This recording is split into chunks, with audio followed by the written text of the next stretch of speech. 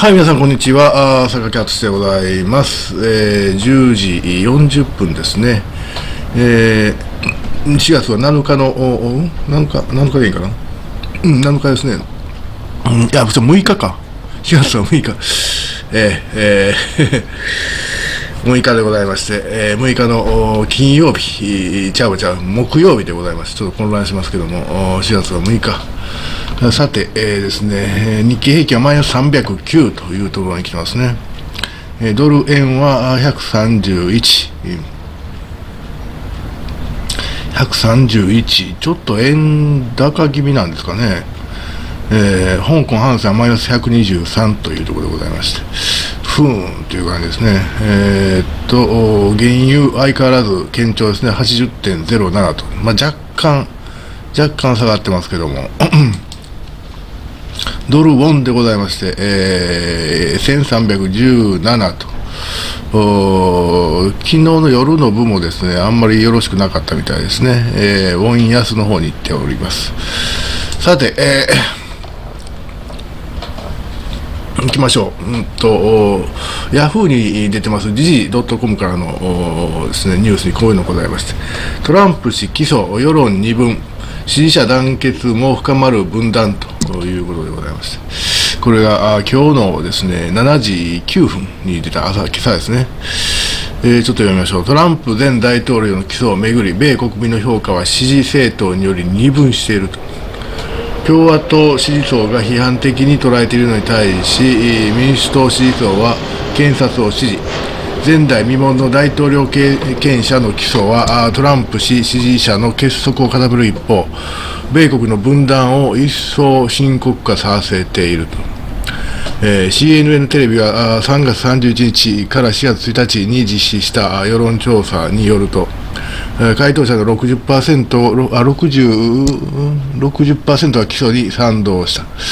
うん。ただ、だが支持政党別では民主党支持層は94%が賛成したのに対し、共和党支持層は79%が反対だった。うん飛ばしまして、2024年に大統領選に、大統領選で返り咲きを目指すトランプ氏は 起訴を選挙妨害と呼び、共和党指名候補争いの追い風にしている。えー、陣営によると、起訴の報道後、報道後1000万ドル、約13億円の献金が集まった。初めてトランプ氏に献金した人もいるという。うわこれね、あの、この辺で、あれはしますけど、ヤフーのこのサイトを貼っときますね。えー、なぜこうなってるのかと言いますとね、もう、あのー、起訴された内容はね、なんかもうどうでもいい話に思えて、思えるわけですね、私にとっても。えー、関係のあった ポルノ女優さんと、にですね、お前それ黙っとけというためにですね、えー、弁護士がお金を払ったと。その弁護士に対して、えー、ですね、またお金を払っていたいたんだけど、トランプさんがね、いたんだけど、それを選挙資金から出したということですね。まあ、会計上の処理の誤りと。で、口止め料を払うのは別に違法ではない。まあ、それはそうでしょうね。個人的な話ですから、そのお金持って黙っとくわというのは別になよくある話ですね。ある有名人の間では。ただその会計処理を自分のポケットマネーから出すのではなくって、えー、選挙資金から流用していると。それが犯罪であると。な、なん、なん言うてもね、微罪やんそんなんて。どどっちかっていうと、その、選挙、だから選挙資金法違反とか、そういうもんでしょ、日本的に言えば。でそれで、大統領経験者をね、起訴してるんです。で、起訴したのがですね、ニューヨーク地検なんですけども、その向こうはですね、検察官というものをですね、あの、選挙で選べるんですね。ちょっと不思議な制度ですけども、えー、選挙で選べるわけだった。あの、カマラ・ハリスさんという今の副大統領も、カリフォルニア州の検事をやってたんですけど、彼女も選挙で選ばれてるんですね。だから検事っていうのはある程度政治性を帯びてるわけなんですよ。で、トランプさんを起訴した検事というのは民主党員なんです。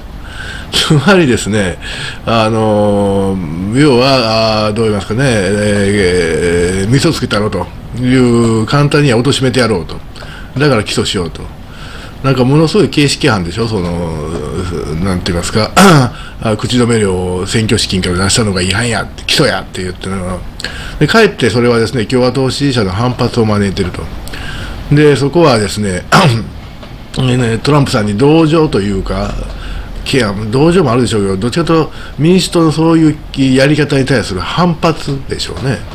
でですね、あのトランプさんの支持がかえって高まっているという感じなんですね。あのだからあんまりですね、いい手ではなかったんではないかなと。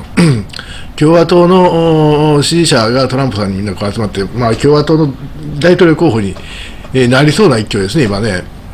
ただまあ、もっと 先を考えれば3手の読みをすれば共和党はトランプを選ぶかもしれないけどもアメリカ国民全体はですねトランプはあの 変なやつやと。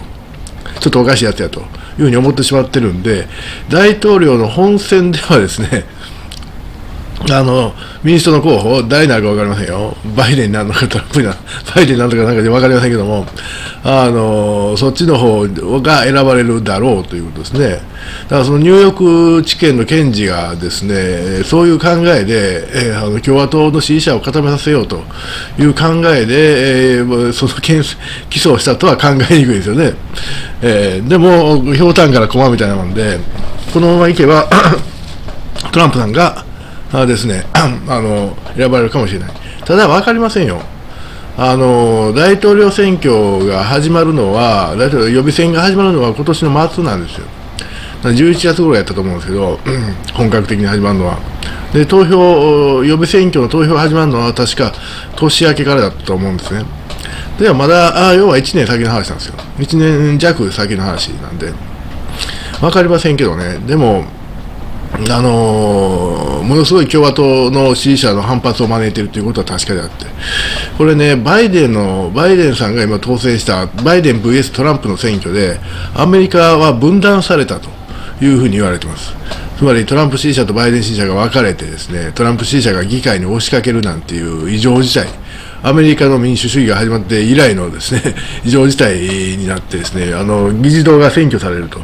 いうようなことまでありました。あれはアメリカ人を非常にですね、傷つけましたね。その分断がですね、まだ色濃く残ってるということなんですね。あのー、日本ではちょっと考えにくいかなという感じですね。あの向こうは2つに分かれてるわけですね、分かりやすく。日本の場合は、まあ、自民党があってですね、でその他の政党っていう分かれてますよね。ほんで公明党なんていう宗教政党があったりしてですね、